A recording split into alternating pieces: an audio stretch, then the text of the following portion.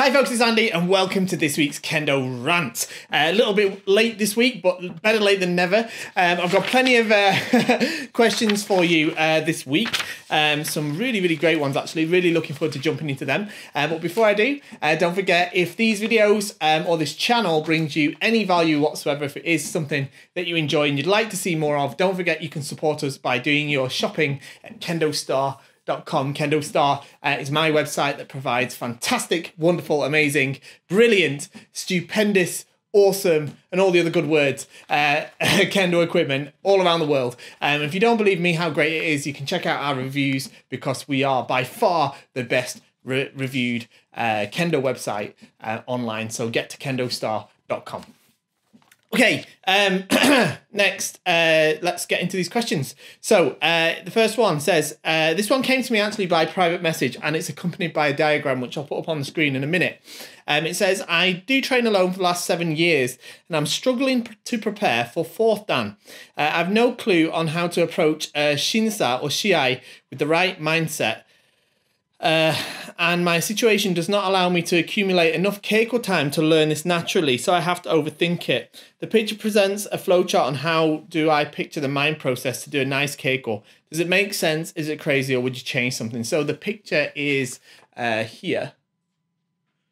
Okay, so uh, look, the picture for me is just it's far too confusing. Uh, um, you're definitely overthinking it. Okay. Um, you, you don't need to think about it on that sort of critical level. Um, I'm sure it's accurate, all right? Like I've tried to sort of look at it and kind of follow the arrows around, uh, and I'm I'm sure it's accurate and I'm sure it's correct. Um, but you don't you don't have time to go through that thought process when you're in a, a situation where somebody is attacking you with a shinai. Okay, so look, if you're going for fourth dan, all right, you need to have met all the criteria for third dan, all right?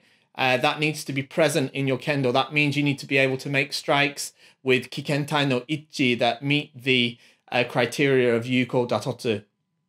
Also, what we're starting to look at now for fourth dan is you need to be able to um, you need to be able to show that there's intention or purpose behind the um, the actions that you're taking. All right. So um, it doesn't necessarily mean you always have to make the right decision or the right choice.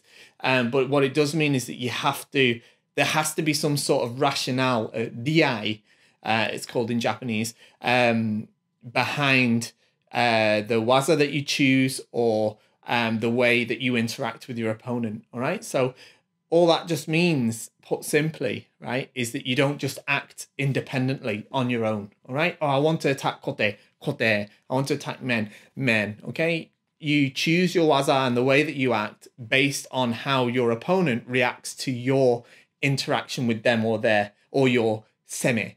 Okay. Um, and yes, the diagram that you put up, uh, that you sent, sorry, um, does give some good examples of how you can make that um, that selection. Um, but don't worry too much if you make the wrong one. um, try to make the right one, of course. But the important thing is, is that you're trying trying to have DI or rationale to the actions that you take. Okay? That's the best advice I, I can give, I think. Okay, next one. Um, how much does the quality of Shinai matter? Are there certain markers to look for on particular qualities? So, um, in terms of the quality of Shinai, um, the different things um, look, you can get really cheap rubbish Shinai, all right? Not from Kendo Star, um, but you can probably still get. You used to be able to get. I haven't seen them for a while, to be honest. But then I don't really look at um, other Kendo websites other than Kendo Star. But um, the you used to be able to get like really cheap rubbish Shinai, um, where the the bamboo hadn't it probably hadn't been like treated properly and stuff, dried out properly and stuff. And they used to break really quickly. But after you get to a certain point, once you get to a sort of uh, standard price for basic shinai, right up to quite expensive shinai, the process of the bamboo itself, how they treat the bamboo, how they look after the bamboo, doesn't change massively. I know there's like smoked ones and stuff, uh, and there's different types of bamboo, um, but in terms of uh, durability, there's not a massive difference. All right. So there's not a massive difference between uh, the entry level shinai, something like the Goriki or um, the uh, like the the all purpose kendo Star shinai in terms of durability with some of the more expensive models, even in the like the Kinjirushi range, in terms of durability of the bamboo itself. However, there's other things that affect durability, all right? Things like the type of shinai. A Kotogata shinai um, or an all-purpose type shinai will always be more durable than a Jissengata type shinai or a Dobari shinai, right? Because of the way that they're shaved, right? The way that they're shaped. Um, what you're getting when you pay for sort of uh, a, a, higher quality shinai, like when you get into like the Kinjirushi series that we offer on Kendo Star, for example, is more care has been taken over um, the actual construction of the shinai, the actual shaving of the bamboo. Um, even if even though the the you know the the, the bamboo is either madake or keichiku, they're the two main types of bamboo. Um, the actual care that's been taken to you know, put the shinai together and to make it a really beautifully balanced, nice feeling shinai is what what tends to change. Okay, so if you're just starting out in Kendo, it's not worth going and spending a lot of money on like a premium series shinai um, because you haven't quite got used to what you like and what you don't like about the sort of nuances of different shinai. Um, so in terms of uh, of the difference, it's more the feel that they give rather than like the the durability. Okay, so don't think that buying a more expensive shinai equals a more durable shinai. Um, so it, it's not necessarily the case.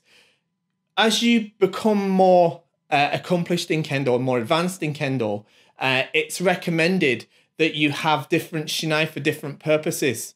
Um, I don't use the same shinai all the time. All right, I don't use jisengata shinai for kirikaeshi and uchikomi because it's called a jisengata shinai because it's for the real match. All right, so I only use them in like the jigeiko or in the shiai or that sort of situation. Um, I don't use them for like kirikaeshi and stuff like that. They're not designed for that, uh, and they're not durable enough for that. Um, so you know, it, you have to think about what situation you're using the shinai for and that's that's definitely something else you need to consider. Um, in terms of different markers to look for in particular qualities, I mean it's it's it's difficult uh, because no, there isn't a massive sort of thing um, that says you know you can just look at it. I mean you can tell if you know what you're looking at, you can tell when a shinai's been put together nicely to compared to like a really cheap NAF one. Um, but I don't come into contact with that sort of cheap rubbish shinais these days. Um because like like i say at kendo star we don't touch anything like that. So uh so yeah. Um just one last point on the shinai though. Even between keichiku and madake keichiku is a um, Taiwanese species of bamboo, and madake is the Japanese species of bamboo. It's not where it's grown; it's the the original native species. All right, so lots of madake shinai. Um, the shinai is still grown like in China or something. It doesn't mean it's grown in Japan. Um, and that is in itself actually affects the the the sort of consistency of the bamboo itself. Um, it was thought in the past that madake was more durable than Keichiku by virtue of the fact that it was more expensive. And um, it's actually become a lot cheaper now as madake, um, largely be- because they started to grow it more in China uh, for the use of uh, for shinai. Um, originally, they didn't bother growing it in China very much because um, it's not something that was cultivated there because the uh, the root, the takenoko, uh, you eat it, right? They eat the bamboo shoot. That's it. Um, and the madake one is apparently quite um, what do you say, like bitter compared to the keichiku one. So it was it wasn't widely popular in China originally. Um, but anyway, uh, because of Shinai production, madake is largely grown over there. Um, so uh, the the price is kind of leveled out the main difference between Madake and Keichiku is more to do with the feel um, of the uh, the shinai rather than um, the durability. Having said that, Madake tends to flake um, and splinter rather than just make a, a clean break. Doesn't mean it never does it, it just tends to. Okay, um, so I, I guess it depends on your style of kendo, but potentially you might get more use out of madake if um you know if you find that it breaks like in a kind of if it splinters before breaking you could kind of shave it to get a little bit more life out of it some people find that Okay, uh, next one. Uh, will Kendo Star be looking to introduce the men shields and men masks should it become the case that most international fe- federations will follow the current AJKF approach uh, post lockdown? Uh, to post lockdown Keiko and when the situation allows for it. So, what you're talking about is like the, the men mask is a uh, like a, a cloth mask made from a tenugui fold, folded in half and then attached tied around your face with string actually comes into contact with your face. Um, and then the um, the shield is like a plastic shield that goes on the inside of the mengane. There's a couple of different styles. There's one that just does the bottom half of your face uh, one that just does your eyes. They sometimes can be used together.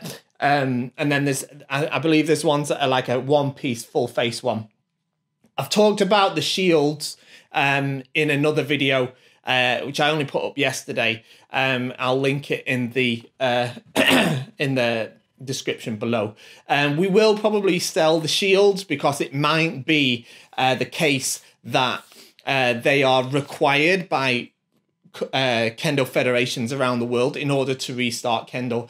I've seen one and I've tried one now, and I don't think it will be a massive impact in terms of um, how it will affect people's uh, practice. It's far enough away from your mouth to still allow for kind of breathing. It didn't. I didn't feel that it was much of a hindrance to my breathing. On the same note, I do not think that they are effective at mitigating the spread of viruses. Um, certainly not on their own. Um, so do not buy them for that purpose. uh, the the the All Japan Federation Kendo Federation has said uh, by putting the cotton uh, mask, um, the men mask on first, and then using the shields, uh, that helps with the spraying out of droplets of uh, saliva. Uh, but again, that's not necessarily proven to mitigate uh, virus contamination. But look, if it's something that is starting to be compulsory, so that we can get back to the dojo then of course I'll support that and I'll I'll offer those uh, as and when um, I see fit. Uh, next one. Um, this came up in a conversation with a friends uh, with a friend. Are the terms yokomen and sayumen uh, practically the same these days? Uh, I thought yokomen was typically used to refer to the one-handed strike uh, that comes uh, to comes uh, flat like flatter in approach uh, than what you see in Kirikaeshi, uh, kind of the helicopter one handed old stuff that's largely disappeared. Okay, so uh, from a point of view of terminology, um, the, the, the terms yokomen and sayumen are generally interchangeable. Yokomen literally just means side men, so it's used to refer to both sides.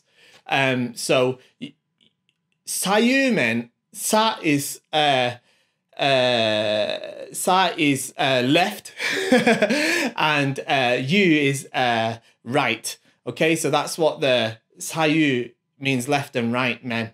Um, I had to think there about the kanji. uh, but basically, Sayu means left and right men. All right. So effectively they're saying the same thing. One saying side men and the other saying left and right men. But let's say if you were to put it in the context of, okay, I'm going to make a strike to uh, here, you wouldn't call a strike to here a strike to the Sayu men. It should be called the Yoko men um, or uh, the Migi men. Okay, because it's the right men. Yes, yeah, my right. Yeah. Um, so that's the slight difference in nuance, I guess. Um, so yeah, it, it it it literally just means sideways sideways men, or uh, sayu is left and right men. So the effectively they're interchangeable. You've got to remember these are these are linguistic terms. They're not hard and fast te- terminology. They're not set in stone. All right. Um, it, it's like uh, we've got another similar question later I've seen as well. Um, in fact, it's the next one um, about the, the, the usage of the word uh, chisai men. We'll talk about in a second. But um, like in English, for example, we could say big or we could say large. They both effectively mean the same thing. Um, and it's it's sort of the same. All right. It, it's not a strict terminology, it's language, it's fluid, uh, and it, it depends on the person speaking. Okay. Um, next one. Um, so I just mentioned this. It says, uh, I've heard both the terms chi sai men and sashi men used to refer to small men cuts in the UK. Do these words broadly mean the same thing, a bit like debana versus degashira? Um, or are they different waza? So this is an interesting one because it's a little bit different to what we just talked about. All right. Chi sai men. Chi sai means small. Okay. Um, I hardly used heard either of these terms used in Japan. Hardly ever. Okay. Um, if either would be said, it would be chisai rather than sashi. But I have heard people say sashi men. Sometimes when I've heard people talk about sashi men, it's been in a different context. So chisai means small. Sashi men comes from sasu, it means to stab. Okay. So the the nuance between chi sai men means to make a small men strike, whereas sashi men, the, the, the nuance is like you're making a kind of stabbing men, like you're stabbing at the men rather than a hit this way. It's like a stabbing at the men this way, uh, if, if that makes sense. Um, and I have heard it used in that context. And I've heard people say in Japan, different sensei say, it's wrong to do sashi men because it's not actually striking. Uh, and I've heard other sensei say, oh, do the sashi men because it's faster. Okay, so it, it it's a bit, you know, um, again, up for interpretation. I wouldn't use the term sashi men to describe small men attacks because I think there's ambiguity there that's too that's that's up for interpretation uh, in the Japanese language. Um, if you went to a random kendo club uh, in Japan and said sashi men, there's a chance they might say, "Yeah, we know what you're so talking about," and there's another chance where people would be like, "What does that mean?"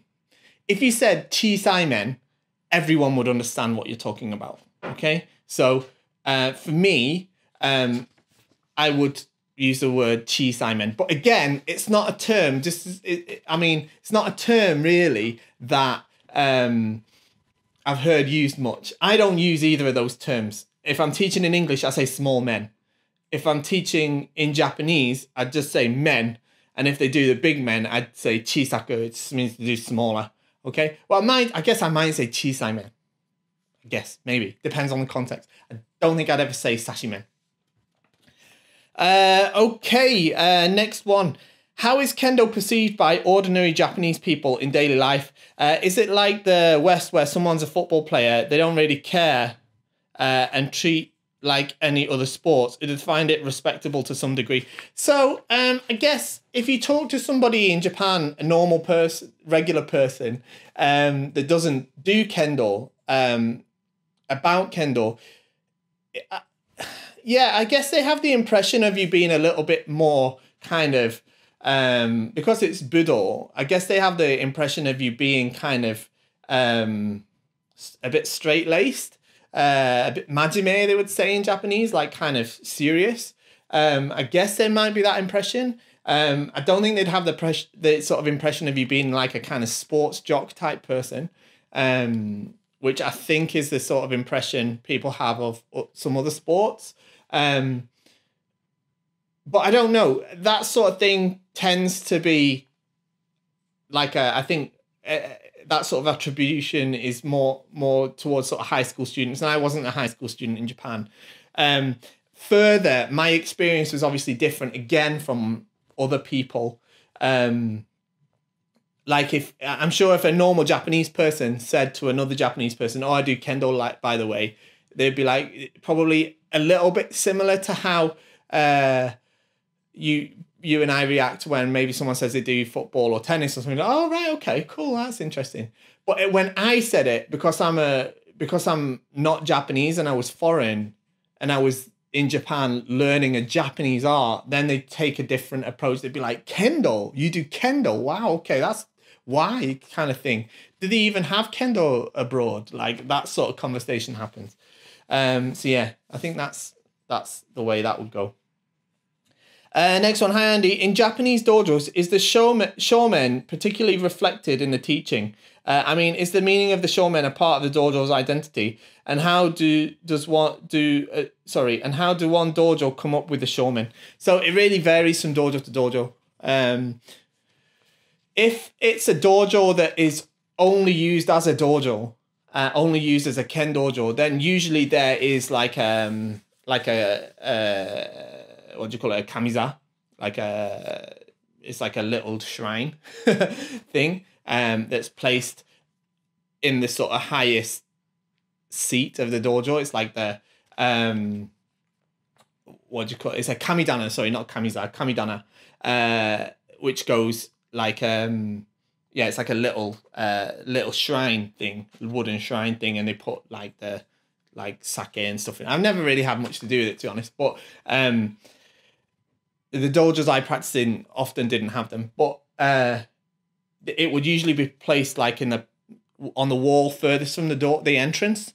Um which is is generally in Japanese culture that's considered the highest respected place. Like if you went to a went out for a meal with like people from your work, for example, nothing to do with Kendo, then um, the the highest ranking person that or the oldest person, the highest person in the hierarchy that exists in Japanese social structure would sit at the uh, the furthest chair away from the entrance. Like they would sit in the in the back. Um, that's that's normal. If you sort of went in there as a new person and just went and sat in the sort of back, like the, you know, furthest away from the entrance, you'd be probably considered a little bit um, ignorant. So um, yeah, the, the the main thing is is uh, that ha- they tend to have those in most um, most uh, dojos are specifically used for dojos. Um, many other dojos don't use that sort of facility. Like one of the dojos that I used to teach at for the kids, that that dojo was a, a, a primary school gymnasium. Um, and the gymnasium doubles as an assembly hall. So there's a stage in there as well. And in every school in Japan, to my knowledge, above the stage is the Japanese flag. Um, so that will be treated in the same way as um, as the shomen or the the kamidana would be.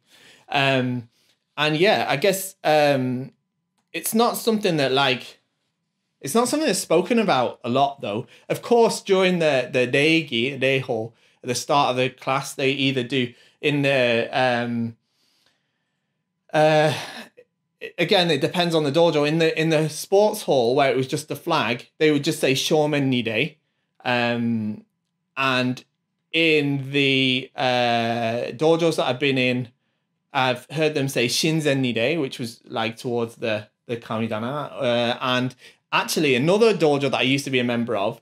Um, the dojo itself was inside the grounds of a temple. They had quite an elaborate kamidana in there with a with a statue of the Buddha in there, and um, they used to say gobutsudan nire. So that was like uh, do the bow towards the the Buddha.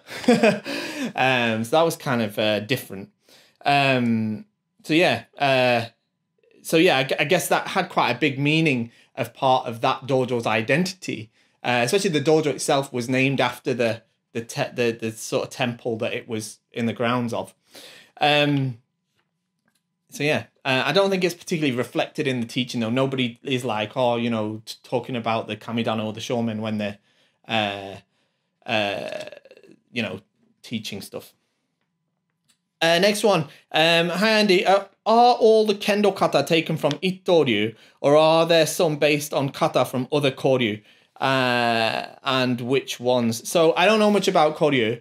Um, frankly, uh, I only know about modern kendo, uh, and I'm not that hot on the history of modern kendo. I know a bit about it, but certainly not about the kata. I do know though uh, that uh, basically it was i think it was like in the early 1900s that the first kata came about and there was only three um the heaven the earth and the human um which is like jodan chudan gedan which i guess is the basis of the first three kata um so originally there was just the first three kata uh which is why number three is like the hardest one um and then they added more later, I think. Um, and when they added more, uh, there was like a group of teachers from all around Kenjutsu teachers from all around Japan, and they were from all different styles. I think every style was able, or every prefecture was able to send one representative, or possibly two. Um, and they were from all over. Uh, and Ittoryu itself is not one style. There's lots of uh, styles of Koryu called Ittoryu. There's like uh, uh, Ono-ha Ittoryu, there's uh, Mizoguchi-ha Ittoryu, uh, what's the other one? Hokushin Ittoryu. I think Hokushin Ittoryu was a big influence on Kendo actually. Um, I couldn't tell you which kata were taken from which styles. Um, I don't know, and I don't even know if that's recorded anywhere. Um, but I, am sure there's there's you know there's like Jikishin Kageryus on there and stuff. They're, they're all there's all different Ryuha that are um, that were represented in the uh, what do you call it? The group of people that um, the committee uh, that made the the current Nihon Kendo kata. So it's it's it's influenced from uh, from lots of different styles. Uh, hi Andy, I was looking at some of your older instruction videos and I noticed you have a very loose right hand grip during kamae uh, and you posted a picture I saw. Uh, what's the reason that you do it this way? So what you're talking about, I've got a shinai here, is uh, it's not on, even on camera, but when I hold the shinai, one of the nuances of my kamae, my personal style, is I tend to hold the um, the right hand very very loosely. Okay, not not like this, but very very very loosely um, and uh, I try to, at the moment of, of striking, squeeze with the right hand then uh, for tenuchi. Uh, but it's just, I guess it's just my own uh, way of making sure I'm not gripping too much with the right hand. Okay, but you mustn't mustn't like hold it like this. That's not correct. But um, I I tend to keep um, a, a very loose grip of my right hand. Um, probably shouldn't really, but it's a it's a bit of a, a nuance of my own kamae. It's not something I do particularly um, intentionally uh, or on purpose. Um, so I wouldn't advise copying it necessarily either. um, next one. Uh, when the first Shinsa after quarantine rolls around, do you think more students will uh, fail because they're out of practice, or more will pass because the senseis know why they're out of practice, or no change?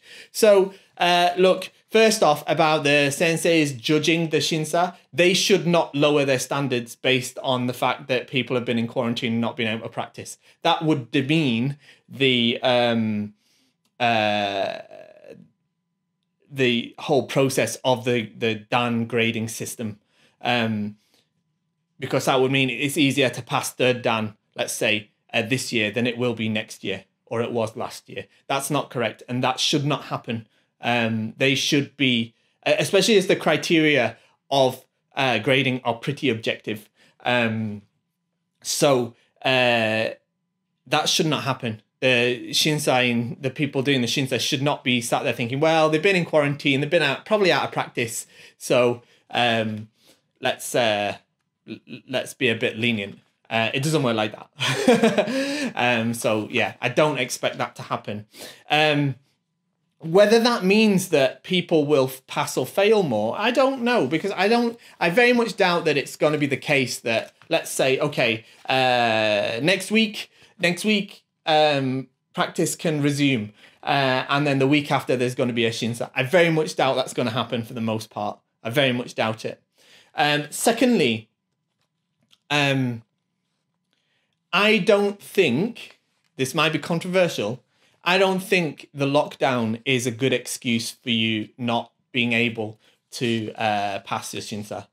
Um, I don't think uh, if if I knew I had a shinsa coming in three months and from today, and I still and I knew that I knew that three months ago when the lockdown started, I had a shinsa in six months, and we were going into lockdown. I didn't know when it was going to end. I'd still be training throughout the lockdown, even though if it was on my own, doing suburi and concentrating on my own kendo. Of course, that doesn't make up for practicing with a partner, but um, I don't think that your uh, ability will have dropped so significantly over that time if you've been putting effort and concentration into it um, in order for you to fail uh, the shinsa probably if you were to fail the Shinsa after the lockdown, it's probably because you probably wouldn't have passed it before. Um, so my um, feeling is is that there will be no real change in the um, kind of uh, what do you say the the the percentage of people passing and failing gradings. Uh, hello, why does the Mune design uh, have this kind of greyish colour? Does it hold a cultural meaning or is it due to the material used? So the Mune, it's not grey, it's black, but it's got a kind of gloss finish usually because it's made of a what's called kurozan leather. It's like a kind of uh, lacquered um, gloss finish leather. And then it's stitched um, usually with like a dot stitch that breaks it up a little bit. So that's why it looks that kind of greyish colour, but it's not grey. It's, it's actually black um, and it's just a little bit reflective. It's not massively um, like a cultural uh, meaning, certainly not the colour. They use that Kurozan leather because it's durable um, and they have done in the past. It used to be made um, originally, it used to be made by using urushi lacquer to uh, actually um, lacquer the the leather in the first place. That's hardly ever done anymore because it's extremely expensive and there aren't, aren't many craftsmen that do it. So usually it's it, it, it's still real leather, but it's a, a synthetic process. It's not urushi that's that's used to lacquer it now. Um, but yeah, back in the day, that's what they would have done in the past. Um, so yeah, um, I wouldn't say it's particularly uh, culturally um, relevant. Uh, next one. Why are Shinai and Bokken uh, different sizes? Uh, and how does the kata t- tie into shi- Shinai Kendo? Uh, so the Bokken and Bokuto are different sizes because the bok the Bokken or Bokuto is used in the kata as a direct representation of a katana or a Japanese sword. The Shinai is not supposed to be a direct replacement or uh, representation of a Japanese sword, uh, and that's why they're different lengths. The different lengths uh, the, the length of the shinai is as it is uh, because uh, in the past there wasn't any sort of regulations on the lengths of it. And then obviously as competition kendo became a thing people were starting to use very long ones so they set a length for them. Um, so yeah the shinai shouldn't be thought of as a replacement of a japanese sword uh, in terms of how the kata ties into Shinai Kendo, uh, it ties into it in lots of ways, um, but probably not massively relevantly until after you get at least fifth dan, um, in which you start to learn things about Datotsu no Kikai, uh, Seme, uh, Semeai, uh, and these sort of things. Um, so things like the opportunities for striking or the relationship between the DI as well, the rationale between waza uh, and yourself and your opponent. Um, I think that's how they mostly tie into it. Okay, next one. Uh, a lot of dojos will start their activity again after weeks or months off. Out of all the dojos that you know, can you please tell us whether or not they'll get back to their usual way of conducting a practice, or is there some way to ease back into it and how? Um, okay, so I think it's very unlikely uh, that anyone's going to just jump straight back into normal practice. Now, I don't know um, what sort of guidelines are put in place by anywhere. Um, I'm based in the UK. We haven't decided specifically yet. Uh, it wouldn't surprise me if we kind of um, follow something similar to the All Japan Kendo Federation guidelines. But look, getting back into practice, I expect um, it's probably going to start with social distancing in uh, in place, of course. Um, probably um, now, you know, once we're allowed to actually practice indoors together, possibly with reduced numbers. Um, obviously, like I say, social distancing. Probably just practicing alone as opposed as opposed to practicing with others. That'll probably be the first steps. Um, things like suburi and stuff like that. Um, we might have to take into consideration like protective masks or something. Um, we'll certainly have to have some sort of guidelines in place about making sure you don't have a temperature or you feel sick and stuff like that.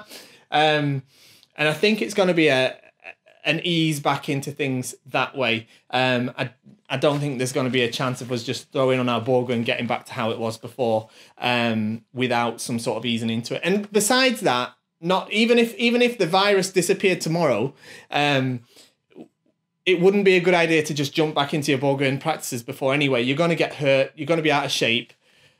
We need to ease back into it uh, and do it sensibly.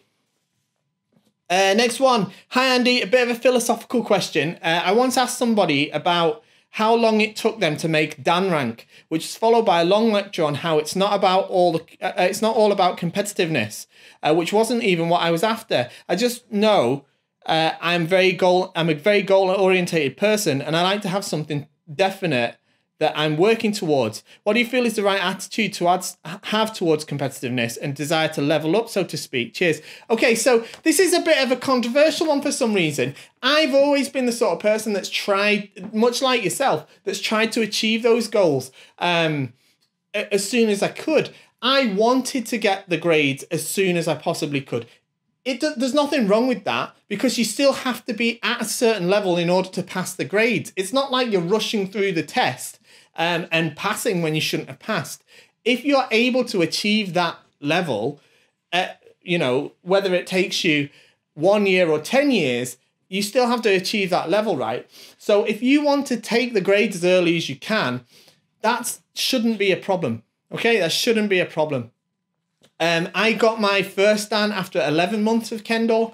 Um, and yeah, um, I've taken every grade as early as I possibly could. Um, if I hadn't felt ready to do that, I wouldn't have done it, probably. Um, though I may have tried to see if I could understand what things I was lacking, um, which is another purpose of grading, by the way. Uh, but I think it's perfectly appropriate to have that sort of uh, drive to uh, achieve your grades or to enter the uh, tournaments um, and, and to achieve those milestones. Um, I, that's not a problem, and I don't think it should be uh, considered considered negative. I don't even think it's competitive. There's nothing to say just because I achieved. Um, I, I achieved my first dan after th- 11 months of Kendo. I didn't do that so that I could prove to other people that I could do it faster than they could. I did that because that was the goal that I'd set myself. It's like if I wanted to lose weight in three months, there's, that doesn't make me particularly um, competitive. There's nothing wrong with that. That that gives me a goal to work towards in that time frame, and I don't see that that's that, that's a problem at all. Um, so yeah. That's what I think. Uh, next one. Uh, I'm really enjoying and benefiting from your channel. Oh, good. Thank you very much. Um, thanks for all the hard work. Question uh, When can we get another Kendo watch along? I enjoyed the 48th all Japan Kendo Championships a couple of months ago. Cheers. Okay, so yeah, I've done a few of those now. Um, would you like to see more? You'd like to see more Kendo watch alongs where we sit and watch a video together, watch a Shiai together. Um, I've done some live in the Kendo Show Early Access group, and I've done some others where it's not live and I've just filmed it. Um, it takes time for me to do it. I'm very, very busy. Things are super busy for me here at Kendo Star uh, which is a good thing. Thank you everybody for your support. Uh, but uh, but I will try and make more time to do those sort of things. Okay, um, I do want to bring you all as much uh, valuable content as I possibly can. So um, I'll do my best to get something else like that out to you um, as soon as I can.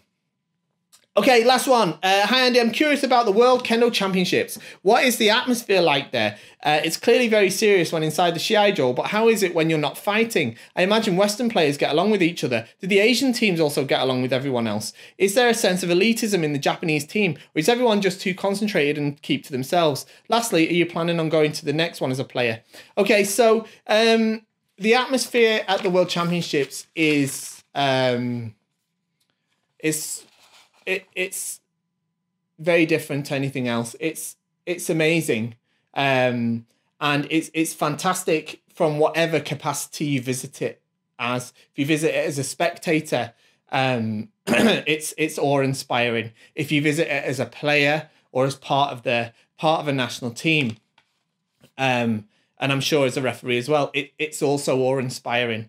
Um, it's it's the highest level of tournament in the world, and it's where um, the uh, essentially each country's elite teams gather in a single place. uh, it's wonderful. It's truly wonderful. Um, there is, of course, seriousness and tension on the Shiaijo. Um, and off the Shiaijo, uh, you know, certainly between uh, um, between matches and on competition days, uh, everybody, excuse me, everyone is um, everyone is still serious and, well, for the most part, um, focused on their uh, the matches and on, on what they're there to do. Um, of course, that's that that's the case. That doesn't mean that people are cold or mean to each other. There's not. I haven't ever seen that sort of negative rivalry. And um, there's good rivalry, friendly rivalry, but I've never seen like where somebody's like being horrible to somebody or being, you know, that having that sort of negative energy towards somebody in that way. Um, there's no there's no elitism from the Japanese team in my experience at all. Um, all the Japanese team members that I know are, are really sound people, uh, really friendly, um, and they've always been uh, really open. Um, I've never never experienced them being elitist. Um, it's difficult if you don't speak Japanese to interact with them, of course. Um, but as I do, I've been able to. So I've I, I've been able to have that interaction with them, and yeah, I've, I've been very you know friendly with with many of them over the years. Um, and I, I, there is there is a great um, in Europe we have a very interesting uh, situation because we every year we have a European Championships when there is when there isn't a World Championships. So every year our national teams get together um, and have a big tournament, and lots of the European because of, of how Europe is spaced geographically, lots of European tournaments are visited by people from many countries. Um, so lots of our national team players are on very good friendly terms with each other, um, and they are you know they, they become part of your friend network. Um, and that extends itself at the world championships as well. Uh, and i don't think that that's unique to western players. Um, i have seen um, uh, you know if you watch the matches between japan and korea south korea their matches are very very heated. Um, it looks like there's no love lost between the two. Um, but in private time uh, at the sayonara party, stuff like that, those those people get on just fine. Um, you know, they get on really well actually, uh, and and are really friendly. Um, of course, there's language barriers as you'd expect, but um, it, it it's not all. it's not it's not necessarily just like that. So um, I think it's a great a- atmosphere there, um, and it's it, it it's a positive atmosphere atmosphere for the most part. Um, and as whether I'm um, planning on going to the next one as a player, um, I'm I wouldn't say I'm planning on doing that. No, I've retired from the uh, national team scene for uh, about five years or something now. I didn't go to the last one. Uh, I'm you know there's a lot younger, uh, faster players than I am. Uh, I am now. Um, but you know I never say never, but. I, I, I, I expect to be at the next World Championships um, in some capacity, uh, whether that's involved with the national team, either as a player or as, a, as part of the coaching team or something else, um, or in a different capacity. Uh, we'll see, but I'll certainly be there. Uh, that's it for today. Uh, I hope you enjoyed uh, this episode. Don't forget uh, to support the channel by shopping at kendostar.com. Uh, and we've got a t-shirt shop as well. There's a t-shirt Teespring store. People keep asking us for t-shirts. Uh, there's a link in the description down below. Thanks for joining me, and I'll see you all next time. Bye-bye.